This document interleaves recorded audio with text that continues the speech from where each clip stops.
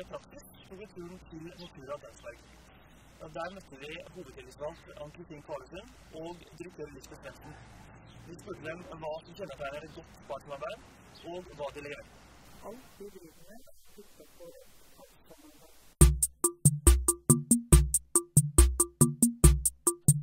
Samarbeidet er faktisk så tett at de to ofte deltar på hverandres møter. Den tillitsvalgte på direktørens ledermøte, direktøren på klubbmøtet.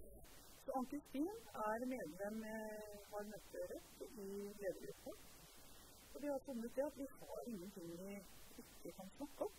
Det har vært en styrke selvfølgelig å være i ledergruppa akkurat. Men når først har bestemt oss, så får vi en raskere gjennomføring. For forankringen skjer da på den vei. Ann-Kristin med sine tillitsvalgte, i ledergruppa, så går det. Så det lykkes kanskje på en litt tettere måte. Mm så vet jeg kanskje mer om det som verden har til gulvet enn ledere gjør. Det betyr ikke at ikke vi har ledere som er nær drift, for det har vi. Men det er noe rart med det. sant? Det er tillitsvalgte det går bortover i stedet for oppover. Og det kan gjøre at eh, ting blir fanget opp fortere hos ledelse med at jeg sitter i høyregruppa. Direktøren på sin side deltar på flere klubbstyremøter i løpet av året. Hvis jeg har noen utfordringer som, jeg trenger å få henne til å forklare, så inviterer jeg til klubbstyremøte. Så hun er i hvert fall tre-fire i året. Ann-Kristin og jeg har jo, har jo en viktig rolle. Hun er leder for NNN i Kongsberg, jeg er leder for fabrikken. Det er klart at Hvis vi ikke samarbeider, hvordan skal vi forvente at det samarbeides nedover i organisasjonen? Så vi er jo på en måte rollemodeller òg. Hvis vi bruker tid på å krangle, så er det klart at det vil gjøre noe med kultur på andre måter. De to anerkjenner hverandres roller, og de er opptatt av at begge skal lykkes med sin jobb. Vi har to forskjellige men vi har ett mål. Og det er å ha en trygg og god arbeidsplass hvor vi kan tjene penger og utvikle hverandre. Kvalesund er svært opptatt av at tillitsvalgte må bidra til å sikre god drift og lønnsomhet. Jeg er veldig enig med og. Det er det vi lever av. Og med den situasjonen som er i bransjen, hvis vi små marginer, så vet vi at vi må tjene penger. Hvis ikke så er det kanskje vi som havner i en strukturdebatt skal bli drift. Så er det å ha åpne tillitsvalgte som er med på å spille på spille. Ikke alltid 100 på lag, men i hvert fall ta det samme. For det er ikke det at hvis tillitsvalgte og som bare så, så stopper av det. Sånn er det bare. Så du, du trenger tillitsvalgte som også har forståelse for drift. Altså du, du kan ikke du kan ikke bare med tillitsvalgte eller bare konsentrere deg på en ting. Du, du må få inn i hodet at vi er avhengig av å tjene penger. Og det er jo drift vi tjener penger. Så mener jeg man vil det. Og det betyr også at du må være med opp i uka for å finne gode løsninger som nøye forbedrer. Desto mer penger vi tjener, desto mer kan vi grønne.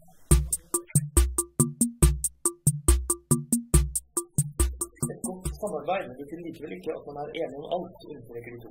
Hvert samarbeid er jo avhengig av en oppegående, dyktig, krevende tillitsvalgt.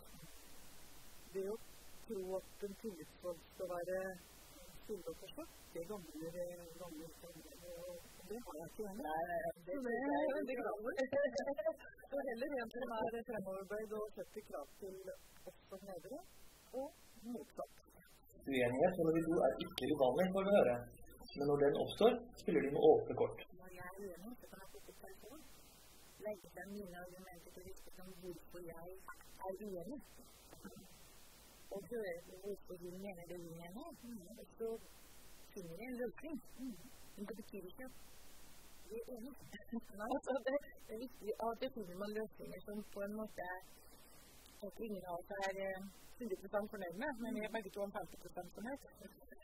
Begge legger vekt på at forholdet mellom dem i bunn og grunn handler om tillit. Er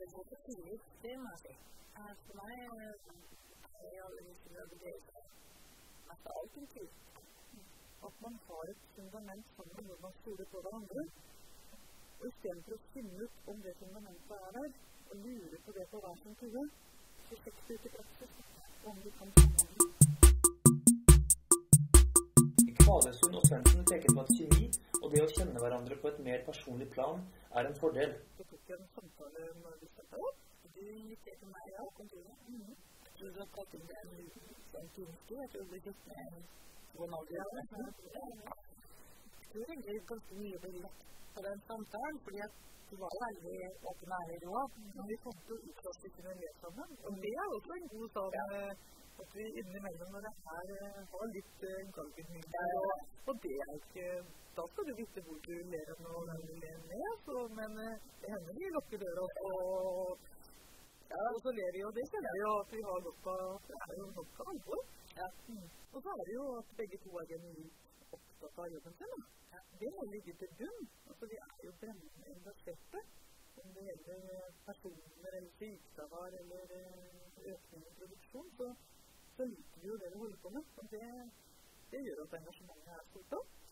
Altså, du må ha lyst til å gjøre en sånn jobb. Mm. Eh, hvis ikke du har lyst til den jobben, så har du ingenting å bidra med. For det er ikke en 94-jobb i hvert fall. Det kan være 100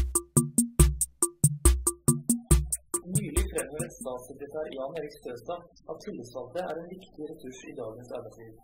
Dette ble bekreftet av partene i Nordura. Tillitsvalgtes rolle kommer til å bli stadig viktigere eh, framover som en del av du kan si, den norske eller nordiske modellen. Vi opplever jo at tillitsvalgte er jo på mange områder bedre skolert enn noen.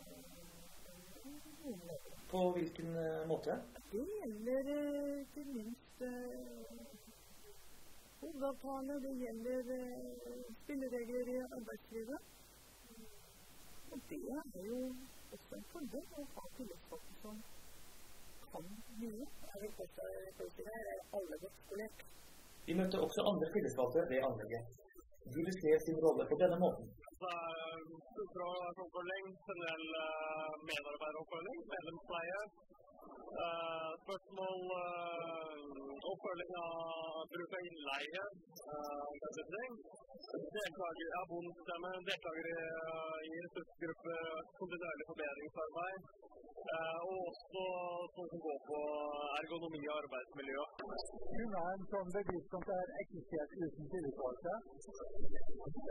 nei, altså tillitsvalgte må nødt til å være i arbeidslivet. Uten tvil. Hva er det du gir de andre tiltalte her? Jeg håper jeg gir dem støtte og hjelp når de trenger. Vi har et klubbkontor som er åpent hver dag. Det er vel aldri en dag uten at det er minst 15-20 mennesker innom. De diskusjonene som trengs å tas, de bør ta klubbkontoret. Og når vi da blir enige om en eller annen løsning, får vi gode ut som fellesskap. Det er litt det samme når vi blir enige om ting. Så må vi stå i langt og bredt begge to. Så dette er jo nyttig i IA-arbeidet også, når man har det fundamentet. Når IA-avtalen er en partssammensatt sak, så har vi jo opp litt eh, samarbeidet. Og det ligger til grunn